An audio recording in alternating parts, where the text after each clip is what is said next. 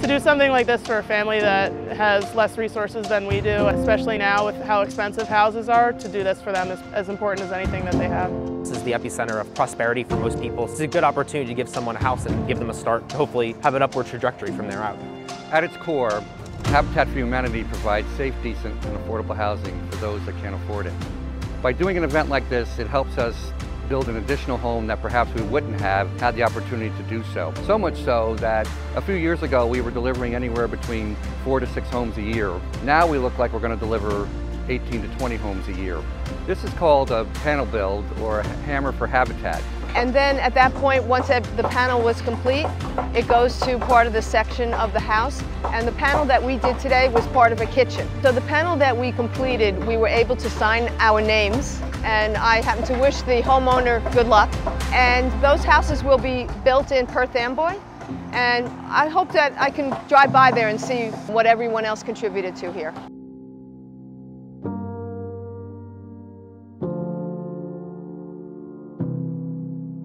So like everything, it's much more special getting together than it is uh, virtually. It's important actually to be able in this day and age, post-COVID, to get people to be together. The more opportunity we have to you know, really get to know each other outside of work, that creates bonds. And the part of it that happens that a lot of people don't realize is the team building aspect. You're working with co-workers, perhaps you have the uh, supervisor who doesn't know much about construction, but then the person subordinate underneath that supervisor knows a little bit more.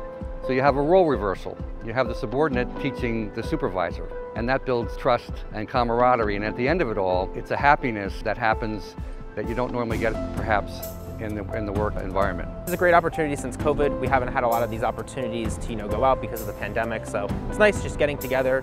Um, takes a couple hours out of your day, and it's you know it's a meaningful opportunity to give back a little bit. I think the benefits of working together in this environment is um, you do build some trust together. Um, and then when you see each other in the hallway, you kind of think about this event and also what the event contributed to the community. Today the energy is quite high. People get together to do something like this and I think they come in thinking like, well, can I swing a hammer or, you know, I don't know much about construction. And the good news is you don't need to know much because we teach you right on site being taught techniques on how to use the drills and the proper way to hammer it and how to frame everything, I think, you know, not just the community service part of it, but you also get to learn while you're here. So what does it all mean for families? We now have people getting involved in home ownership, and so they're ending some type of cycle of dependence, perhaps, that they were involved in prior. And that's empowering. That gives hope. That gives people a way up, perhaps, to something they never dreamed of because now they have home ownership.